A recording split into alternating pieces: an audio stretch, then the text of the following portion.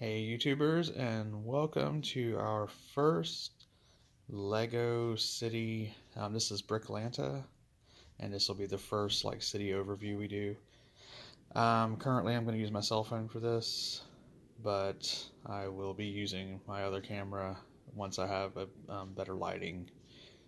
Um, but anyway, here is the start of this thing. Um, it is by no means complete and it's not even in like the greatest state at the moment but we feel like it's in a state to where we want to go ahead and put a video out for it. And then later on just so you can see some of the changes that we're going to be making um, so I do apologize if it's not quite steady. I'm not using a tripod at the moment. And of course the lighting isn't the best it could be. But again, like I said, this is early. Um, we have the July 4th weekend coming up. I don't know what all we're going to be doing. I think I'm going to be adding a table.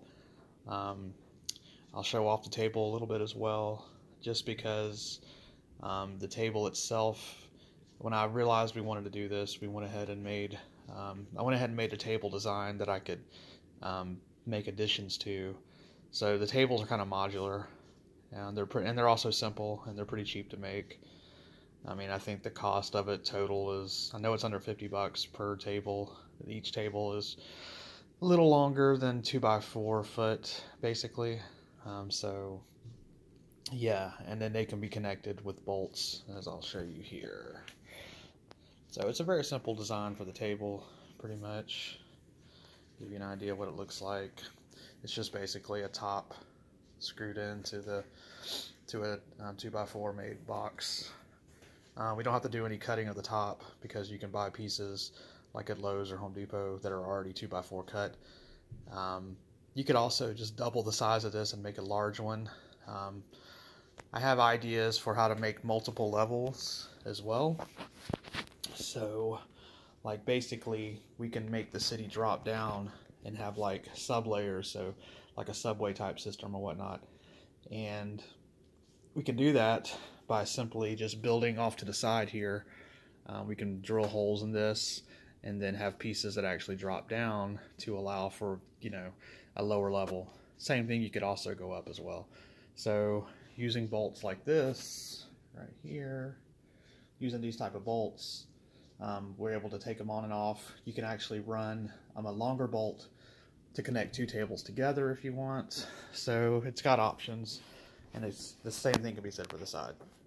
So right now, currently, we don't really have a Lego room. Um, we are gonna the next place we move to. We're gonna devote an entire huge area to a Lego City, um, and also just to store the Legos that we have. Um, currently, this is like the den slash my wife's office and so as you can see the fireplace in the background and then she has her shelving over here um, which she has her own collectibles in that she has. So this is the room that the Legos are currently in. So let's go ahead and take a look at the city itself. So we do have a train that goes around. Um, as you can see here, this is a train track. This is the surrounding. Of course, we still have some areas where we don't have plates, like right here. Uh, we did recently add some plates on this side of it over here. Um, right now, currently, there's not many MOCs. This is mostly, mostly just store-built stuff. Um, we have basically a city square here um, with a fairground going in the park in the center of this. Just because these are the pieces that we found. We already had the larger creator sets that we've had for the most part for a few years, but they've just basically been in cabinets similar to the one over there that I just showed. Um, but we decided we wanted to kind of display this out. We wanted to make a city out of this. So just with all the store-bought stuff that we have, we wanted to put it out and um, you know at least display it. Now, as we're watching more videos on YouTube and we're learning more about building, we've decided that we'll be doing more MOCs. So we have a few MOC ideas, um, so, something like this where we're doing a bumper car thing. So we have like a work in progress here.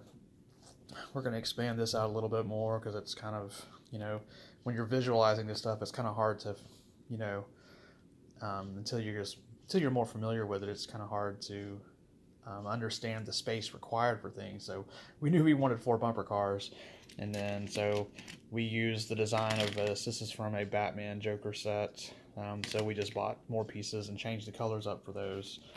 Um, but yeah, and then we're making the, the actual bumper car little rink area here. And um, so that's going to be, that's one of the first little things we've decided to work on. Another thing we decided to work on um, that is going to be for a raised train track. So this is just a test right here, just to check the height and to see which pieces I wanted to do. Um, we decided that for, um, I mean, we've seen other, of course, train track, um, train tracks being raised. And so we decided with this one, instead of just doing like gray, that kind of matches like a, I guess a customary um, pillar system like you'd see in any city, we decided that we want to go to color theme. So we're doing blue and white. And I think whenever we we're gonna make a bus, and maybe even some, uh, maybe even like a subway system or a, um, you know, subway cars and whatnot, we're gonna go with the blue and white theme for all of that. So even though it kind of looks similar to like a police theme, like police cars like that, those are mostly white and blue, but we figured we'd go with the opposite of that, which is blue and white. We tested a few different colors out when we made these pillars, um, actually last weekend, and we really like the white with it. It kind of just stands out from that blue. So yeah, so that's going to be a race train track. Um, it's going off the edge of the table here, which I plan on making another table. I think I'm going to make it the July 4th weekend. So again, we wanted to go ahead and, you know, have an update before we actually extend these tables out.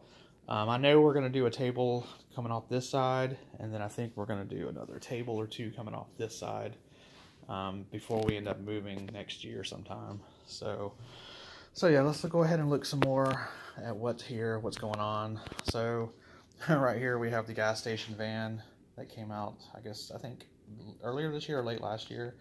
Um, but we have, of course, a you know crazy teenager on top who's trying to pioneer van surfing. Seems to be going pretty well right now, but he really needs to watch out because he's already attracted the eye of the cops. So I have a feeling that's not going to work out very well. Of course, right here we have uh, two civil motorcycles here, civil workers that are on motorcycles. We have Duke DeTain and then an unknown fireman. And they're just having a little conversation while they're kind of in some stop and go traffic. Um, we live in Atlanta, so we decided to name the city Bricklanta. Uh, we plan on having some Atlanta kind of specific um, MOCs that we're going to build. I'm not going to say what they are just yet because we do want some kind of surprise and I know at least one of them is going to be really cool, and it's probably going to be one we're going to work on really soon, in fact. Um, so we got to do some designing on that and order some pieces. But, you know, this is going to have some some area attractions that Atlanta has. So since we live in near Atlanta, we figured we go with Bricklanta as the name of the city. And so yeah.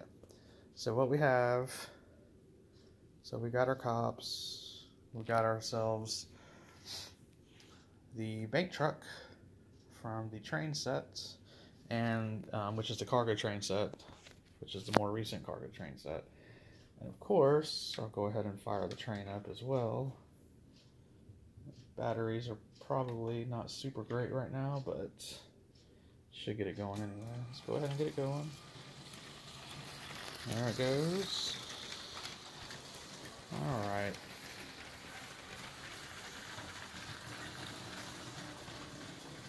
I hadn't really tested, I haven't really ran it since I was over there testing those tracks. I'm glad it actually went through. Speed up a little bit if it has much juice. Alright. Starting to get a little louder in here. This happens with the trains. We got our hot rod here. That's from the June Lego store promotion.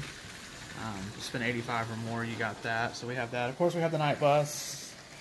Um, we were not afraid to actually do any sort of um, different theme stuff our city will have maybe some Star Wars things and some Harry Potter things and some of the other themes that are in place.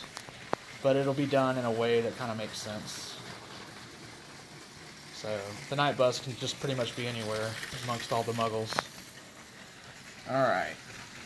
Here we have, um, I actually sent a picture to Instagram on this. It's a pizza guy. He just got here to the, um, the square assembly the 10th, that's the 10th anniversary uh, Lego uh, modular building. And he's just arrived to deliver this pizza and he has no idea which floor, which building he needs to go to. So, um, up here, my wife is, she's always liked having this ninja guy on top of her cinema, even into, um, even when it was in a display case, it was like that. So, yep. We have here um, the cinema janitor. He is taking a break and doing a little air mop at the moment. Let's go ahead and turn the train off.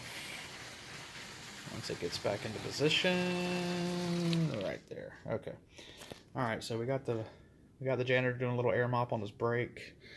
We got the kid over here using his drone to do a little spying out here. I don't know what he's looking at or what he's looking for, but he's doing some craziness. All right. Um, this is our main street here. It's not really a name so far, just what I'm calling it. Um, we got a few, few people going around here. Of course, you got the premiere of the movie. You got the starlet. All right. Sorry about that. Okay, so we've also got the TV truck here. Um, we have the news. They're they're actually covering the news. They they've moved around a little bit, but they're right there. Um, they're just covering, just doing a little piece for the city, um, discussing what's going on out here. All right. Of course, we got our old style gas truck. We do have a little gas station over there that's not really on anything and not really set up quite how we want it yet, but it's here included. Uh, let's see, anything else going on over here? We've got a few things. Got a figure who fell down. Let me put him back on here real quick. He's over here by the barbershop. All right, so we got, of course, the barbershop here. Pretty standard stuff. We do like this guy. Uh, we got him from the Lego store, one of the little three minifigs in a pack you can get. Um, he's similar to another one, which is kind of more expensive that we've seen. I think it's a minifig from one of the previous sets. Um, but yeah, we like the umbrella he's holding there. Looked pretty good, standing out there like he's waiting. Um, you know, we got our guy with the pretzel here. We got a dog. Um, up here on the rooftop here, we've got a little tea party that's about to happen. And that's right there above on the assembly square. That's the rooftop on that. And then over here on the rooftop of the barbershop, we have a little, got an old lady here. She's got, it's like the grandma, she's got the flamingo that she came with in the minifig pack. And she's got a nice little rooftop garden going on here. Try to get around there a little bit so you can see. And my wife made this. She really liked being able to do some flowers and stuff. So, um, but yeah, I like that a lot. It's a nice little setup she did. Um, back side of the thing here, I just got a place to put the forklift till I can get a, um, so we can make like a train yard for it. And yeah, think that's about it so far. Um, and get another view around the side over here. Yeah, we have random family members going on out here. We've got people ordering food. No one on the rides yet. We're going to try to get a lot more kid minifigs as well. Um, let's see, looking around, making sure. We have a few Easter eggs as well, like we've got the donut shot. We have Tony Stark after in Iron Man 2 when he takes a break for fighting with Rhodey. He's sitting up there in the donut. I thought that was a nice little Easter egg to do. Um, I thought this was funny over here. We got the guy on the scooter. Scooters aren't don't go very fast, especially if you do the ones that are like 50 cc's. Um, our son, he's that's the little town we live in. He um, he would ride around, and sometimes he'd have long lines of traffic because he was kind of going too slow, and so you have all this traffic waiting to to catch up with him or to pass him when they can when they get a chance. Of course, we got more police cars. Of course, we got the driverless banana truck. I'm not sure what happened to the driver there. That needs to be rectified. But anyway, this is just an early look at what we have going on. We've got a lot more planned. It is kind of crowded at the moment too, so once we add another table and get some more road going off the side over there, that's going to increase some space. Once we get the overhead, we're going to have another passenger train. I think we're going to have the passenger train that's going to go above this area on the racetrack. So once the racetrack gets in here, that's going to be nice. Um, so yeah, um, we hope you guys will come along on the journey with us as we expand this and um, learn from it and you know just have fun. That's what this is all about. Anyway um, if you like what you've seen please follow like subscribe. Um, you know we're doing this for fun and um, to hopefully you know talk with other lego creators and get ideas share ideas because that's what this is all about. But yeah uh, take care and we'll see you next time